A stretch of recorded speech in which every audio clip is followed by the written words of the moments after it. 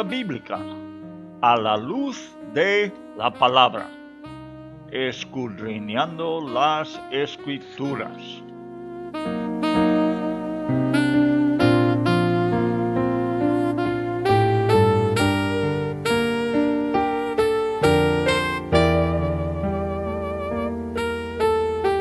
Luz a las Naciones, canal cristiano de comunicación presenta a la luz de la palabra, un estudio expositivo de la palabra de Dios, una presentación minuciosa de toda la escritura, porque es inspirada por Dios y útil para enseñar, para redarguir, para corregir, para instruir en justicia, a fin de que el hombre de Dios sea perfecto enteramente preparado para toda buena obra.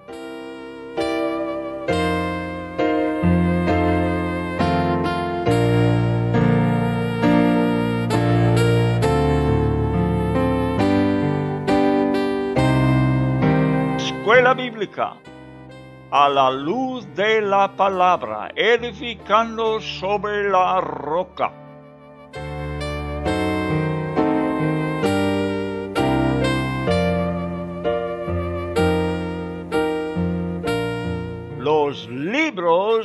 Históricos. El Dios de la historia.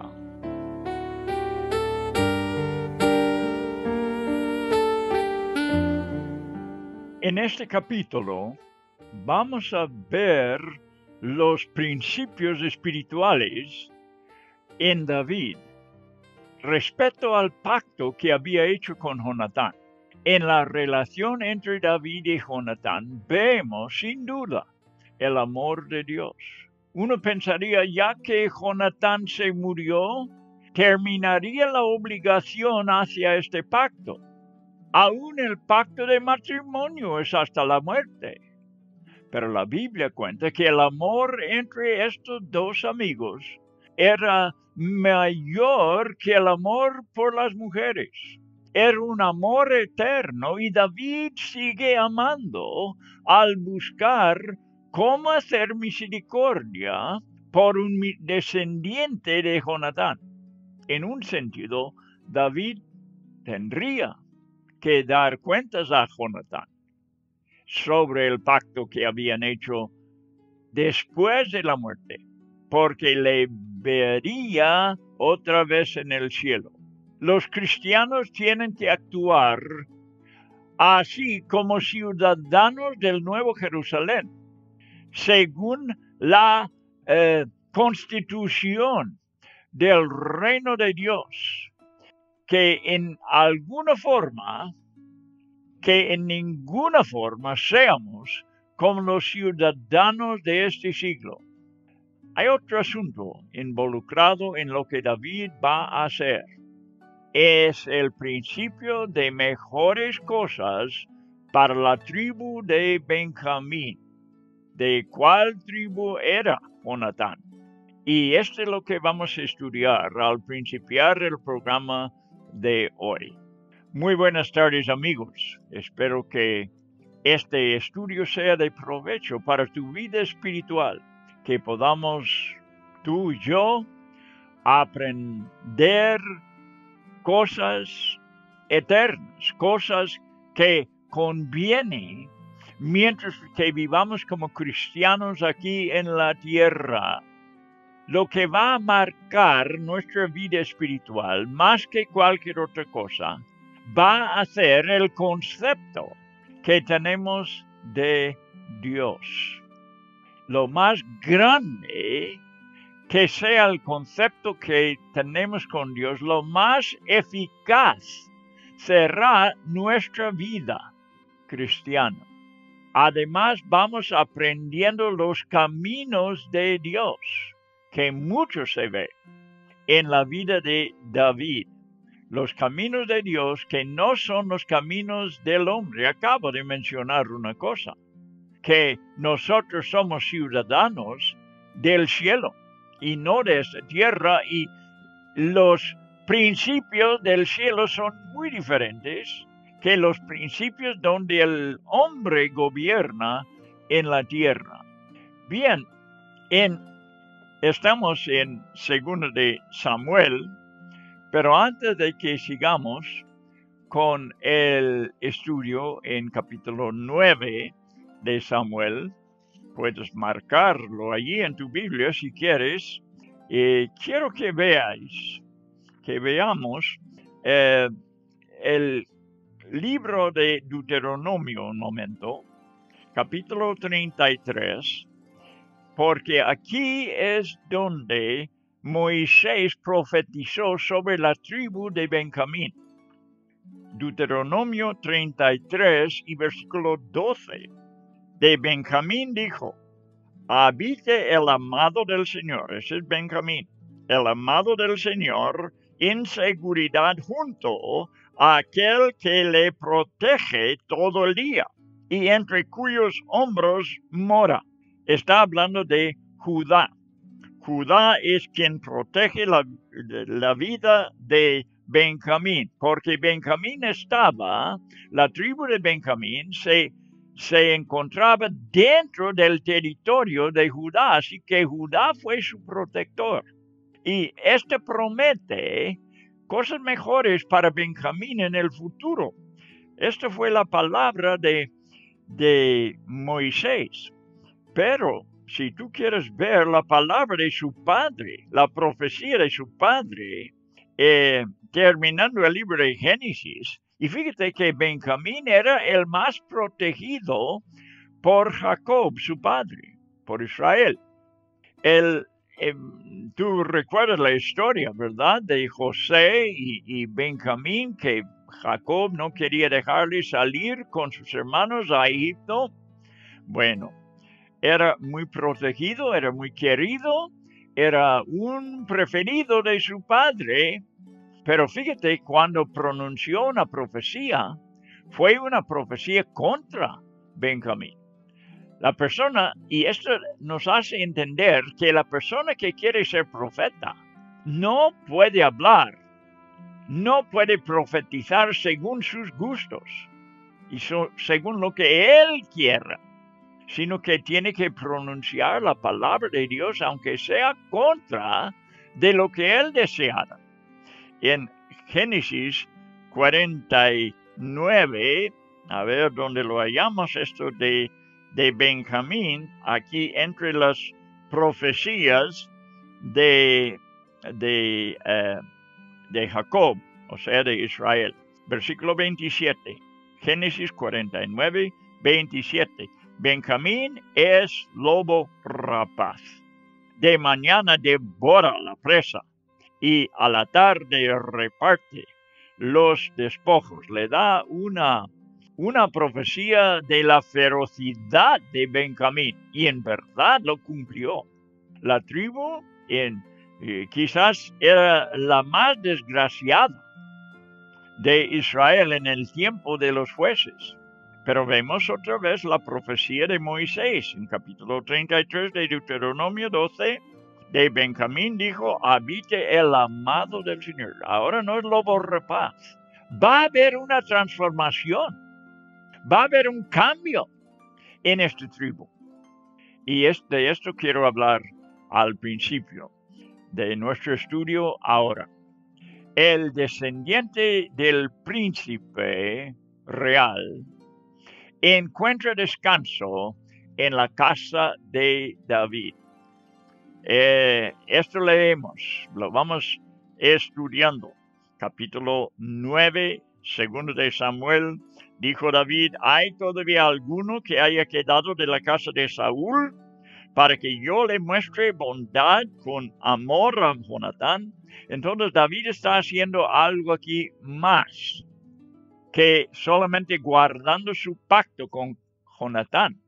Jonatán era de la tribu de Benjamín y David va a hacer su parte para que sea transformado la tribu eh, de ser, como diré, desgraciada a ser una tribu ya en el futuro bendecida. El descendiente del príncipe, sea Jonatán, encuentra descanso en la casa de David.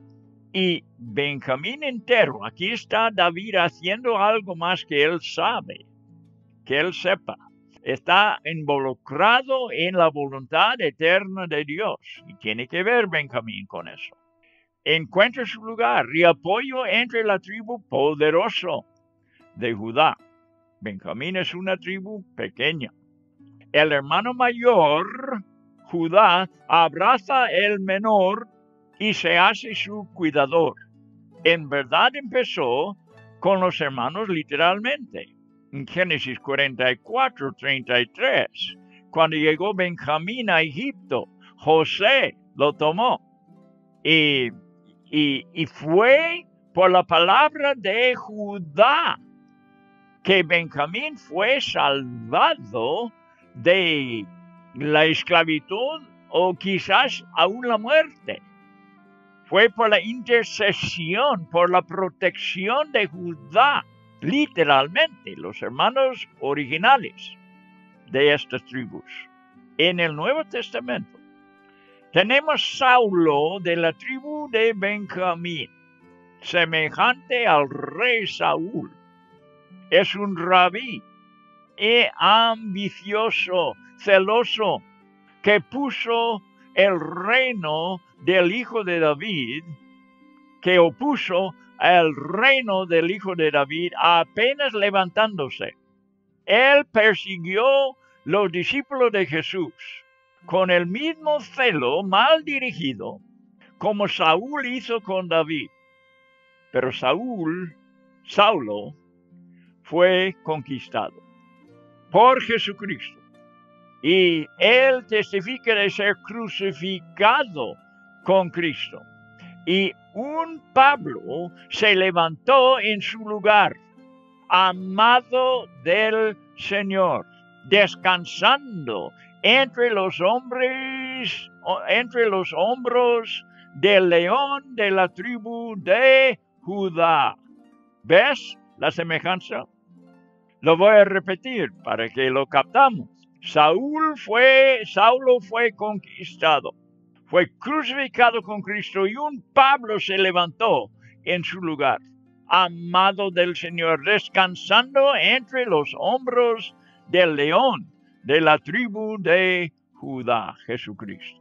Saulo de Tarso bajó, bajó de su trono y un Mefiboset toma su lugar. La fuerza del Señor perfeccionada en su debilidad. Bueno, tenemos que ver que eh, Mefiboset aquí era el hijo de Jonatán, cuidado y guardado por el David, el rey. Y había un siervo, versículo 2 de 2 de Samuel 9, había un siervo de la casa de Saúl que se llamaba Siba, y lo llamaron ante David y el rey le dijo, ¿eres tú Siba? Y él respondió, tu servidor. Y dijo el rey, ¿no queda aún alguien de la casa de Saúl a quien yo pueda mostrar la bondad de Dios?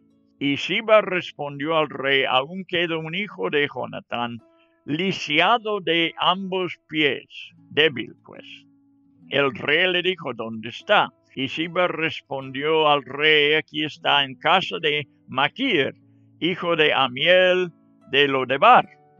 Eh, y este se llamaba Mefiboset, hijo de Jonatán, versículo 6, lo verás ahí.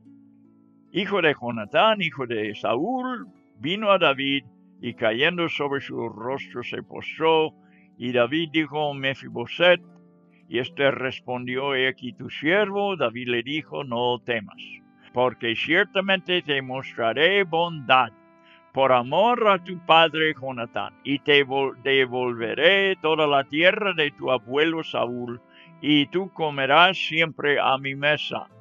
Bueno, ves cómo ya empiece a descansar la tribu de Benjamín sobre los hombros de Judá. Y hemos visto en el Nuevo Testamento cómo se levanta un apóstol que era muy fuerte antes, muy violento, pero al convertirse se hizo débil como un Mefiboset. Y mira lo que dijo este apóstol en 2 de Corintios capítulo 12. Muy bonito, digo yo, la historia y la comparación con el Saulo del Nuevo Testamento, ¿verdad? Segundo de Corintios capítulo 12, versículos 9 y 10. Y él me ha dicho, Dios me ha dicho, el Señor Jesucristo habló a Pablo, te basta mi gracia, pues mi poder se perfecciona en la debilidad. El Saulo fuerte fue tumbado de su trono y tomó su lugar un hombre débil, un hombre que reconoció su debilidad y su indignidad de ser un apóstol del Señor Jesucristo, guardado por el león de la tribu de Judá, Jesucristo. Por tanto, dijo Pablo, muy gustosamente me gloriaré más bien en mis debilidades, para que el poder de Cristo more en mí. Bien, tenemos que tomar en cuenta uno que fue siervo de la casa de Saúl, Siba, porque sabremos un poco más de él después, relacionado con esta historia de David. Mefiboset se consideró un perro muerto. Lo puedes leer aquí. Eh, cuando él se presenta delante del rey, así se presenta. Eh, respondió Siba al rey, conforme a todo lo que mi señor el rey, siendo a su siervo, así hará tu siervo.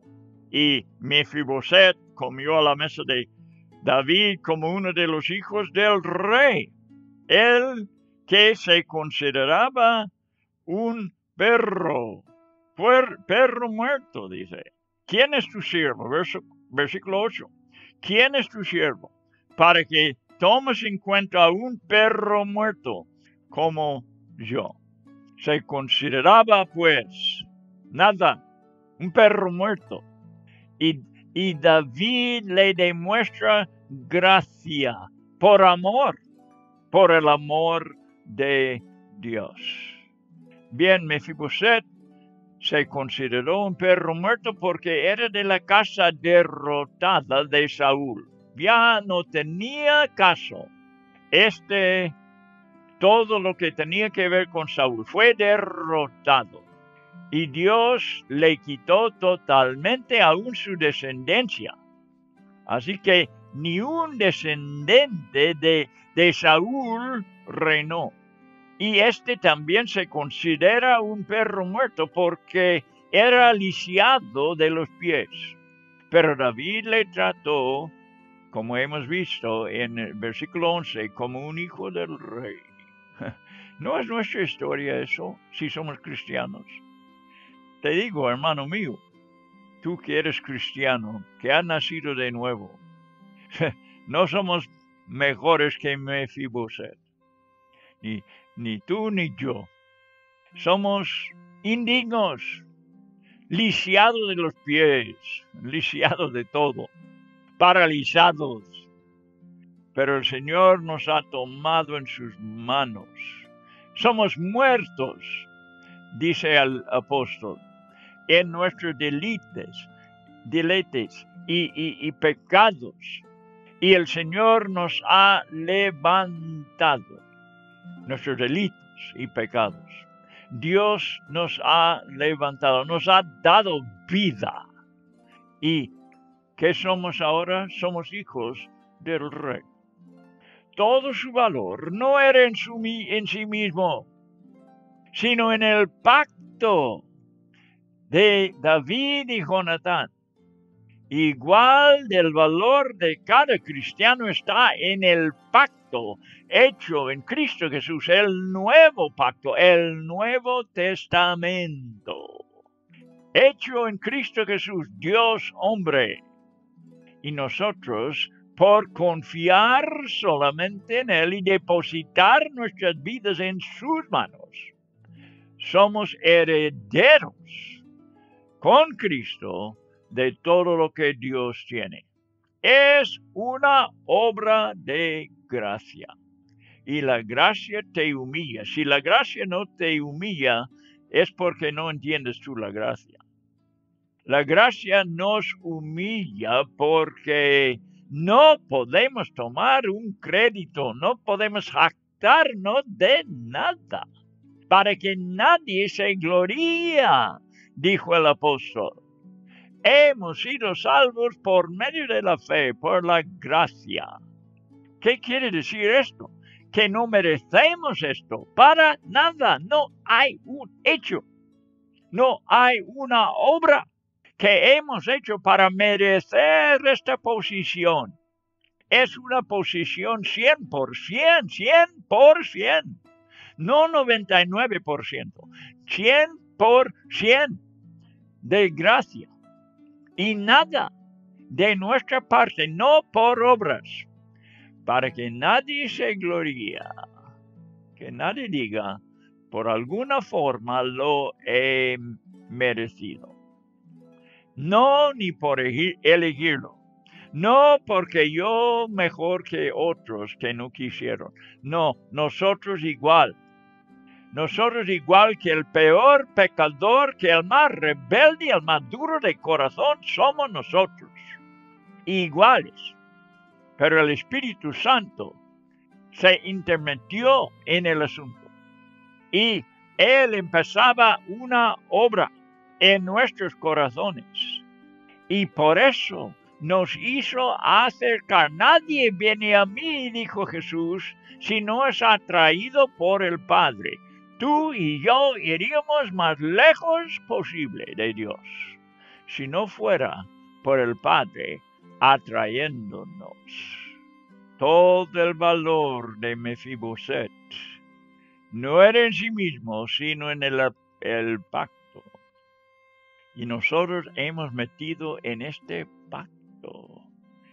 Hemos sido metidos por la gracia de Dios.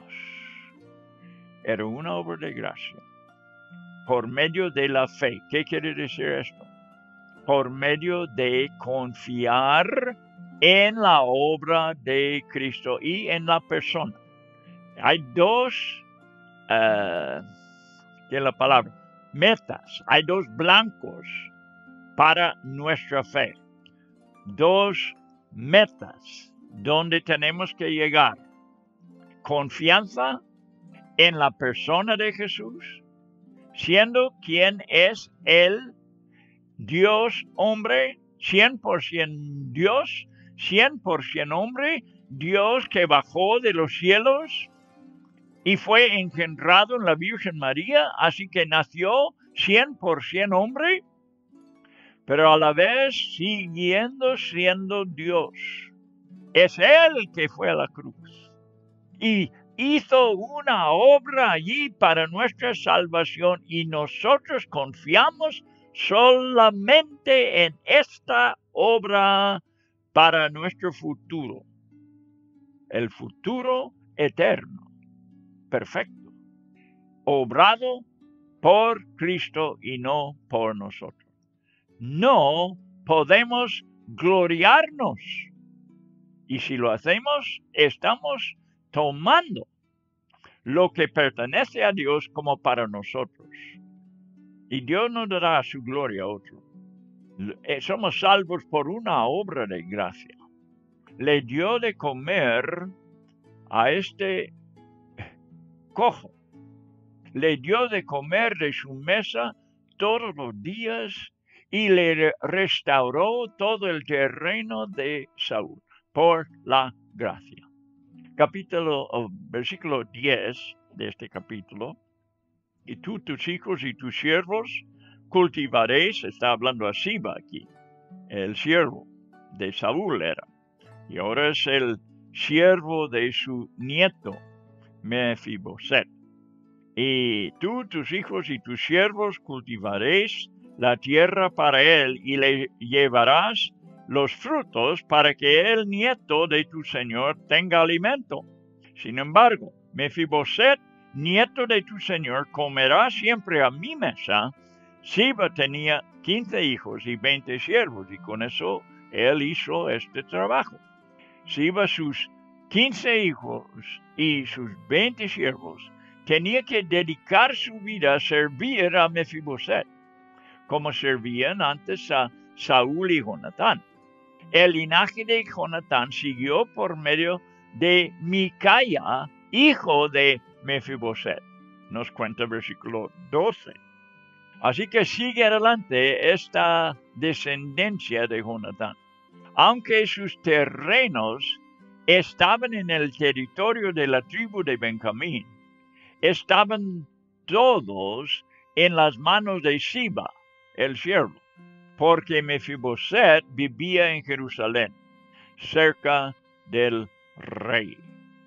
Pasamos adelante al capítulo 10. Espero que habemos aprendido algo, ¿verdad? De esa gran lección.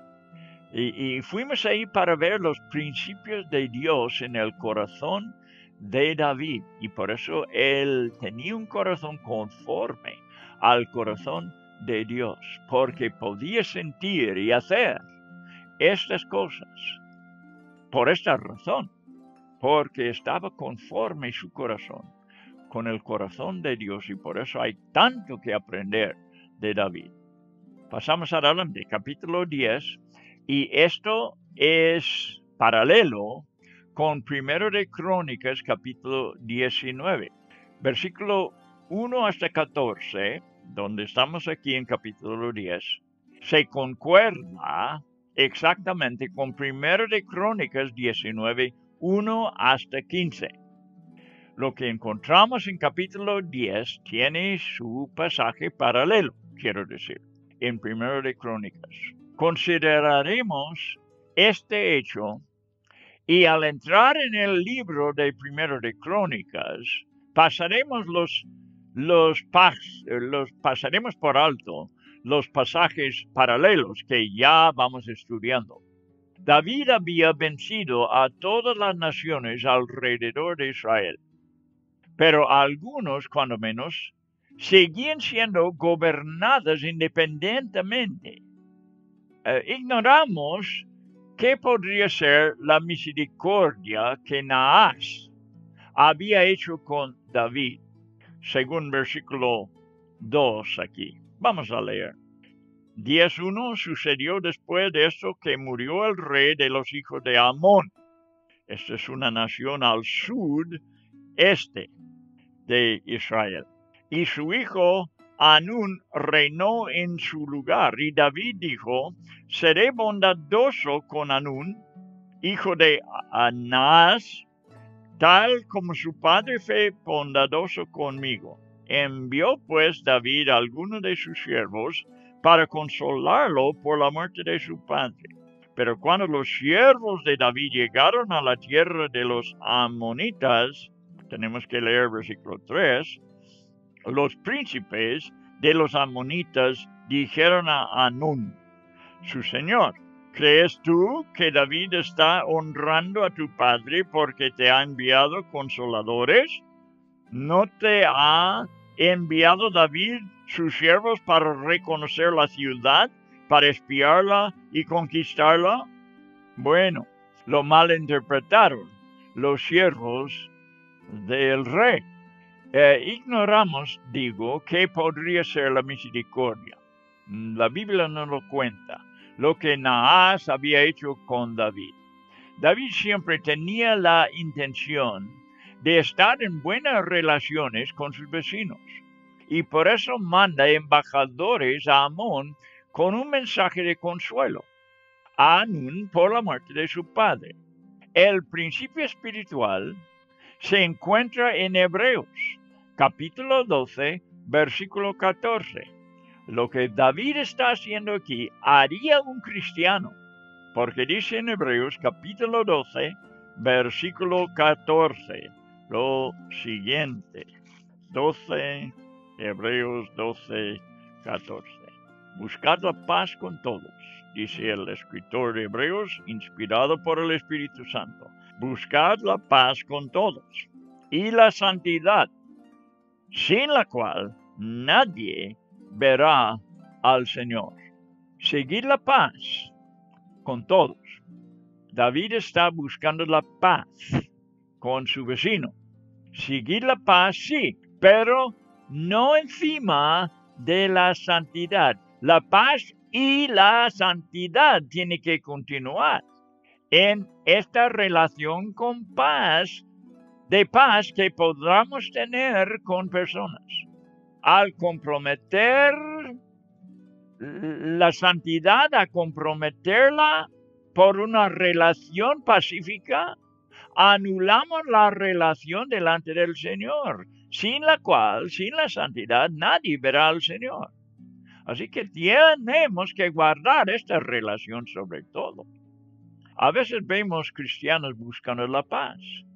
Con iglesias liberales hay un movimiento ecuménico.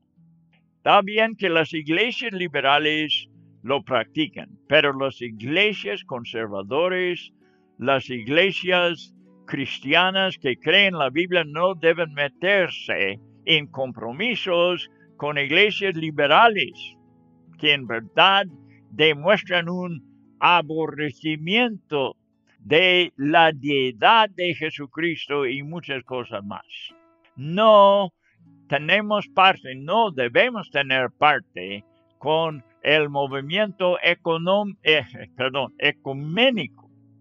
Ecumenismo no es para verdaderos cristianos. No debemos buscar la paz con iglesias liberales que niegan y desobedecen muchas partes de la Biblia. O con el mundo, para poder ganar el favor del mundo. Esto no debe ser.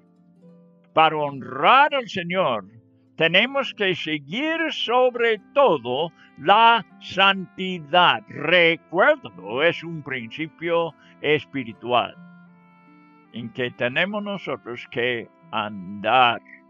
Estamos aprendiendo los caminos de Dios. Y no conviene ser cristianos siguiendo los caminos del mundo. Recuérdalo, por favor.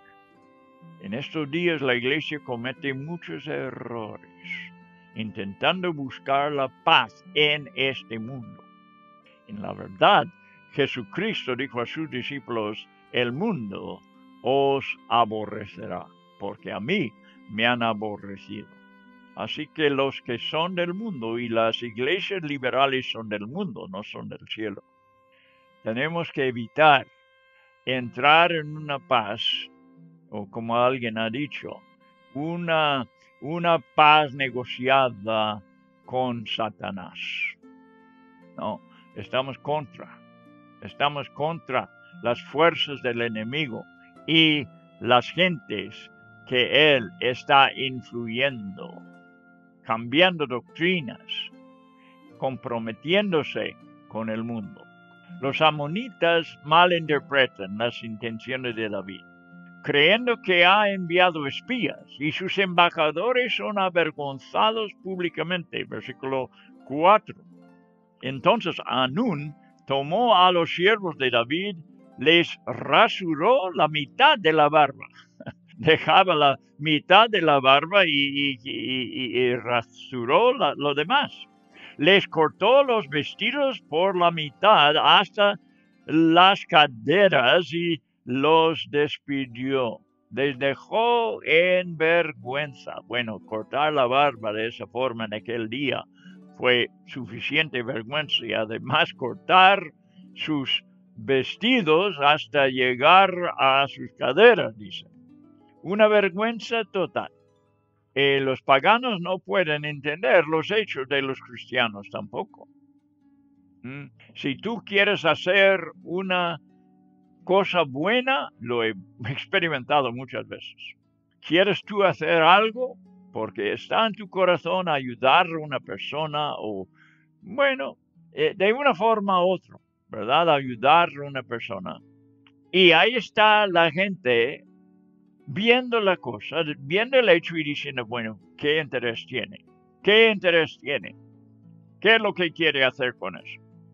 Están juzgando la situación humanamente, como ellos harían en tal caso. Y es mal interpretado a veces lo que hace el cristiano por los que tienen malos pensamientos. No pueden pensar bien de que una persona sin intereses está ayudando a otro. ¿Y cómo es que pueden hacer, estar haciendo cosas sin tener intereses los cristianos? Bueno, les rapó la mitad de, las, de sus barbas, cortaron los vestidos indecentemente y los hombres estaban bastante avergonzados. Y por eso David les mandó quedarse escondidos hasta crecer otra vez sus barbas. El desprecio que los amonitas demostraban era señal de rebeldía y enemistad. Y pensaba que David estaría insultado, ya sabía, y tomaría medidas para batallar con ellos. Así que ellos se adelantaron, tomando a sueldo los ejércitos de los sirios, uno de Maca y otro de Istob, treinta y tres mil soldados por total, más su propio ejército de los amonitas. David lo oyó y envió a Juan, su general, con un ejército de los mejores soldados. Los de Amón dividieron los ejércitos de modo que estuvieron los de Amón de frente y los demás detrás, atrás de Joab. Joab quedó con los mejores de sus soldados para enfrentar a los sirios los 33 mil. Y los demás fueron con su hermano carnal y otro general Abisai. Debemos considerar las palabras de Joab a su hermano Abisai, especialmente en este caso, que son de bastante utilidad para demostrar lo que debe ser la actitud entre los hermanos de la iglesia en una situación semejante, debemos olvidarnos de las denominaciones, de las diferentes, las diferencias que hay entre verdaderos hermanos. Cualquier diferencia que puede haber entre verdaderos hermanos y apoyarnos unos a los otros. Esto sí, no es un ecumenismo esto, esto es hermandad tenemos que reconocer que la batalla no es para intereses denominacionales ni de una iglesia local, sino es para todo lo que se llama el pueblo de Dios.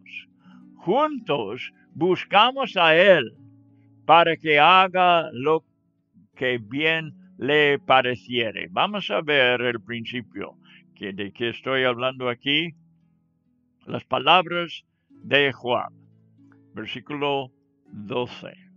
Bueno, 11 lo leeremos también. Y dijo, si los arameos son demasiado fuertes para mí, entonces tú me ayudarás. Y si los hijos de Amón son demasiado fuertes para ti, entonces vendré en tu ayuda.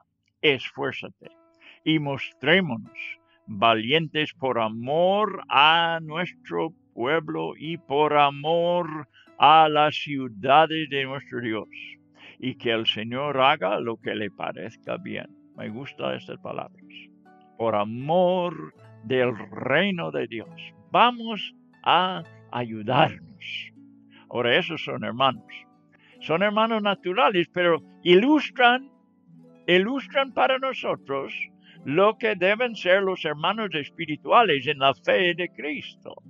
Y no importa de qué denominación sean, pentecostales, bautistas, presbiterianos, si aman al Señor, si honran a las escrituras y si confían en Cristo, son nuestros hermanos. Y debemos ayudarles cuando están en apuros. No debemos tomar intereses carnales en cuenta.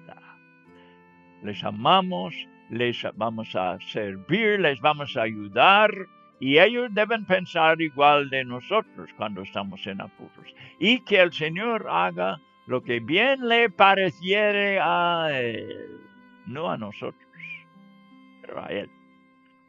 Primeramente los sirios se dio a Joab y huyeron, y después Amón huyó delante de Abisai, y entraron a la ciudad, y Joab volvió a Jerusalén. Bueno, quizás demasiado pronto, porque en versículos 15 hasta 19, y esto es paralelo con primero de Crónicas 19, versículo 16 hasta 19. Los sirios volvieron a reunir. Ojalá que tú apuntas estas cosas que estoy diciendo a los, a, los pasajes paralelos, ¿verdad? Para que sepa que es lo mismo que estamos estudiando.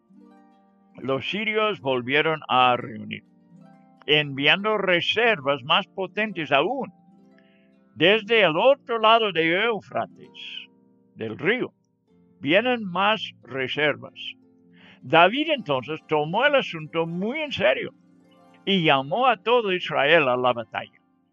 Los sirios sufrieron una derrota grande.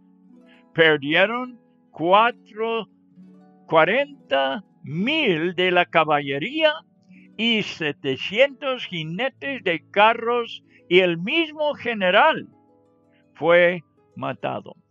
Desde esta batalla se acabó totalmente la rebelión contra David e Israel.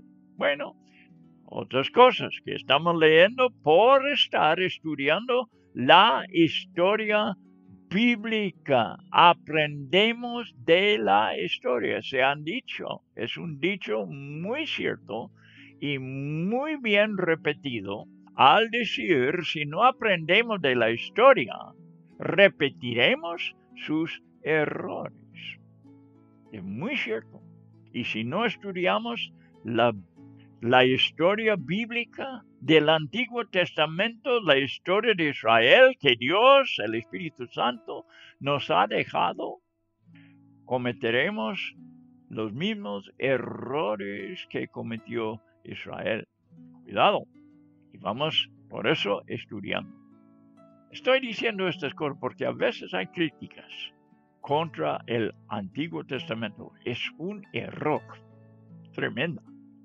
Y, puede llegar a ser una, un asunto sectario de evitar leer el Antiguo Testamento y decir, este no es para nosotros, sí es para nosotros.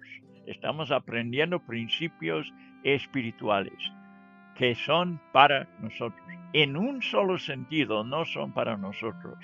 Y ese es en interpretarlos literalmente, especialmente hablando de los ritos y ceremonias.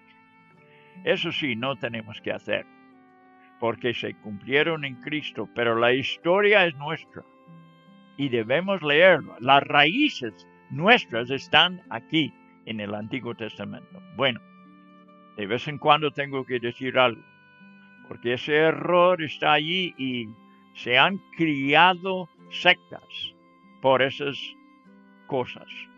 No son ni cristianos, porque han evitado leer y estudiar el Antiguo Testamento, que es la obra del Espíritu Santo. Adelante, capítulo 11 ahora. Avanzamos a capítulo 11. Hemos dicho, que mucho del libro de Primero de Crónicas es paralelo con Segundo de Samuel. Del capítulo 11 solamente tenemos un paralelo en los primeros tres versículos de Primero de Crónicas 20. Eh, los dos libros de Crónicas solamente cubren la historia de los reyes de Judá y la tratan de la mejor manera posible. La que tenemos aquí en capítulo 11 es la parte más vergonzosa y de la vida del rey David. y benignamente el autor de crónicas lo esconde, lo escondió en el silencio. Leeremos primero de Crónicas 20, versículo 1, que es lo único que nos que pertenece a, lo que estamos estudiando eh, aquí en capítulo 11 de segundo de Samuel.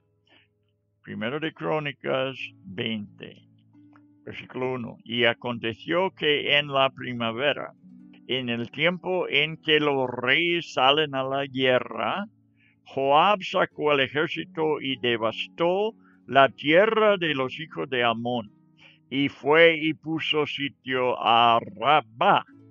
Pero David se quedó en Jerusalén, y Joab hirió a Rabá y la destruyó.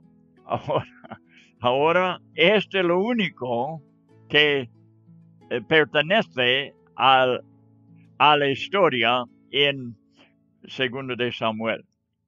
Lo demás de la historia que ahora vamos a estudiar eh, no está en primero de Crónicas. Lo han evitado porque es muy negativo.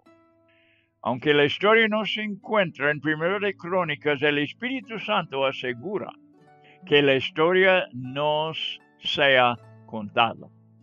Dios es fiel y contarnos lo negativo igual que el positivo él lo hace porque hay mucho que enseñarnos en lo negativo. La tentación se aprovecha de los tiempos más favorables de la naturaleza. Hemos leído en ese versículo muy bien. Describe la noche en que David se baja la guardia, se baja de cuidarse moralmente. Bueno, muy bonito este versículo. Y lo tenemos en 2 de Samuel 11 también. Aconteció en la primavera, en el tiempo cuando los reyes salen a la batalla, David envió a Joab, a Joab. Envió a Joab en lugar de ir él.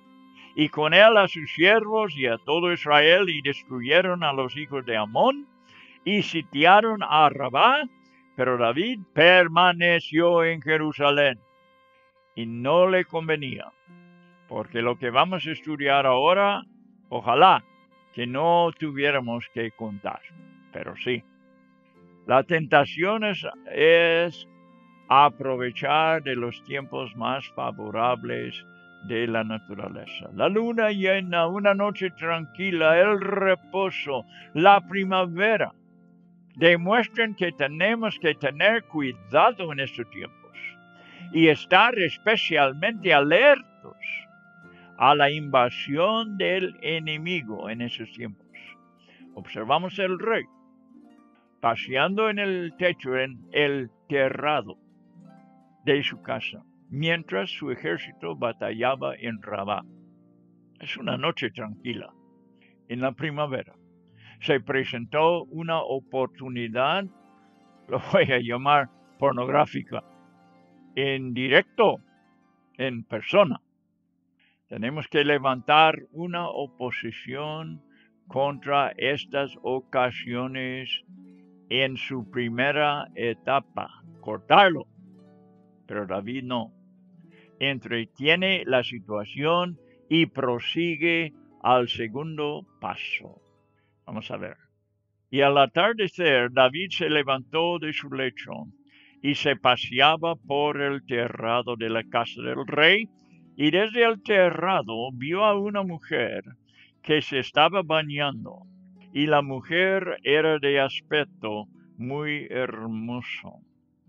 David mandó a preguntar, este es el segundo paso. Debía cortado allí el asunto hubiera evitado tantas cosas. Aunque quizás ya había pecado en su corazón, pero bueno, es peor seguir adelante. Yo sé que es pecado, ya. Y Jesús enseña así, que es pecado desear la mujer de un prójimo. Había pecado ya David, pero podía cortar el asunto allí.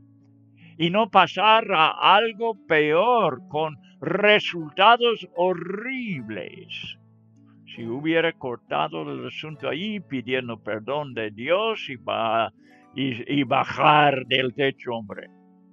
Bueno, David mandó a preguntar acerca de aquella mujer y alguien dijo, no, es esta Betsabe, hija de Eliam, mujer de Urias, Tita. Bueno, pregunta sobre ella. Versículo 4. El siguiente paso. Ya tomó dos, este es el tercero.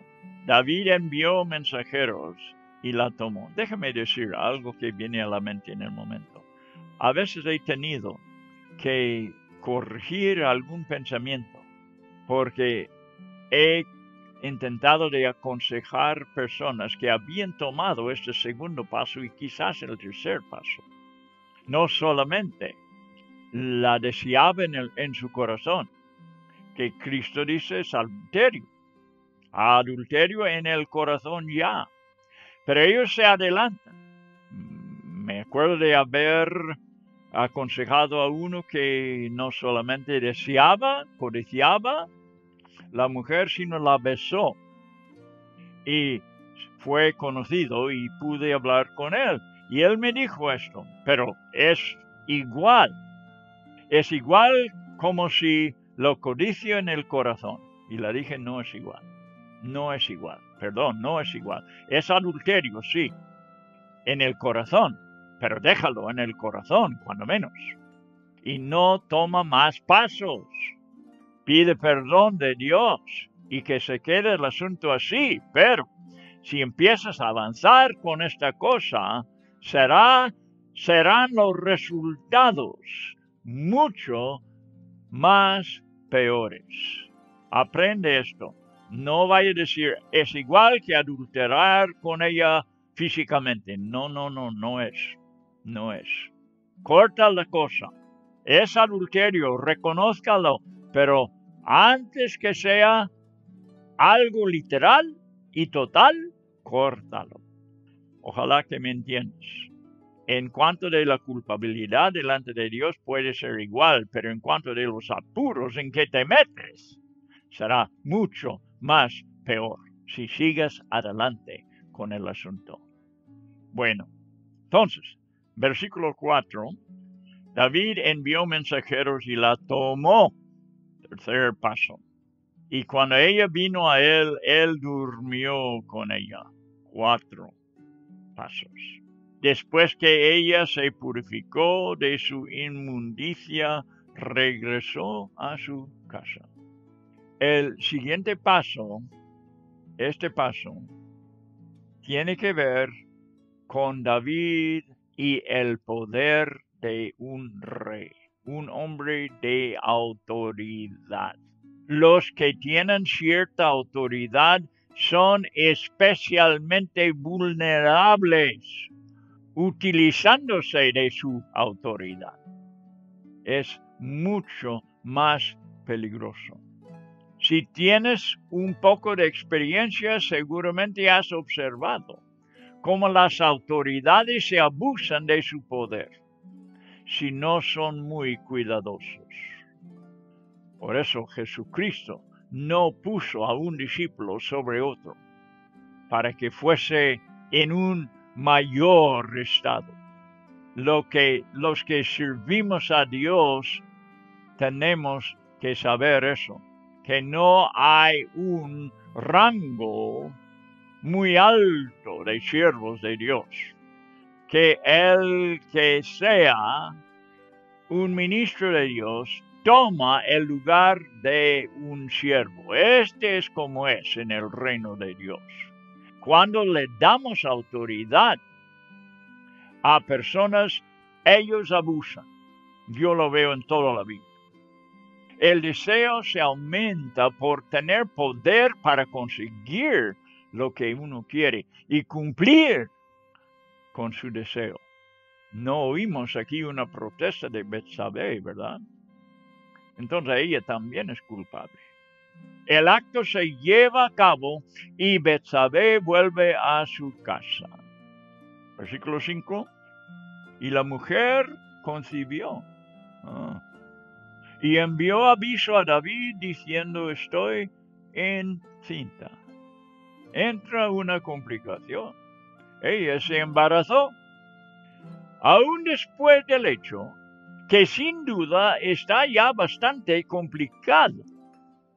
Lo mejor sería todavía humillarse y confesar el pecado. No digo que así se resuelve, pero cuando menos no se empeoraría. El poder otra vez lleva a David a intentar resolver el problema con la falsedad. Y un acto todavía peor, que lo aprendamos aquí mismo, no resulta. No cometamos los mismos errores de la historia. Por eso estamos estudiándolo. Que Dios nos libra de tales trampas y que oremos, no nos metes en tentación, sino líbranos del mal.